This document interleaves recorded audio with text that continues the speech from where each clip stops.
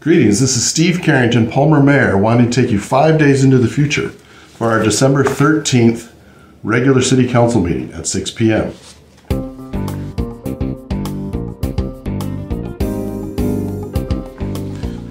It's actually a fairly light agenda for December 13th.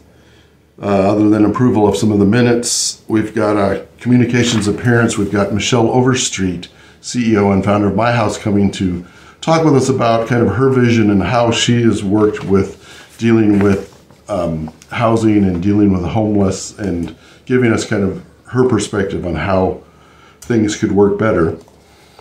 Uh, we've also got a proclamation recognizing Ally Hrncir earning state championship in diving. And then we've got the various reports. We've got one public hearing for this meeting, resolution number 22-035. It's basically 1.2, we'll call it 1.3 million dollar grant.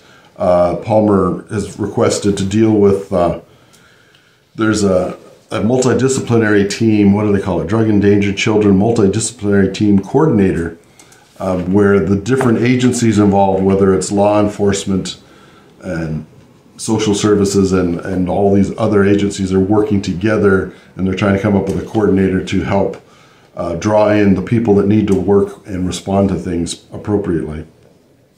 Uh, there's two action memoranda. Uh, basically, we're doing a policy change.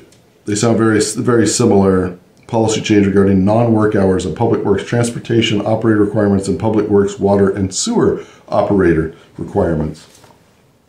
And uh, it's a basically a simple policy change on how people are compensated when they are required to be on call um, to be ready to work on the water system, the sewer system, or to plow streets for snow, which they've actually done a very good job this last week. I, I am very impressed, and I was in Anchorage, and compared to Anchorage, Palmer, I'm very impressed with Palmer.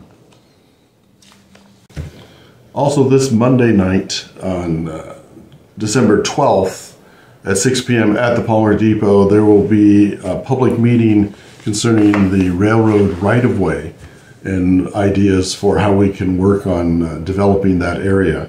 And there will be presentations, and there's been some surveys out, and so be presentation of what survey results have come in and, and different ideas that people have come up with. So that's Monday night, December 12th at the Palmer Depot concerning the railroad right of way in Palmer. And a couple other events I would like to comment on is on Tuesday, December 13th, during the day, we're having a Palmer Community Resource Day. And uh, the invitation says, come learn about the social service agencies that are located in Palmer. Agency representatives will be available to answer questions and assist people in connecting to benefits and services. And that's from 10 to 4 at the Palmer Depot.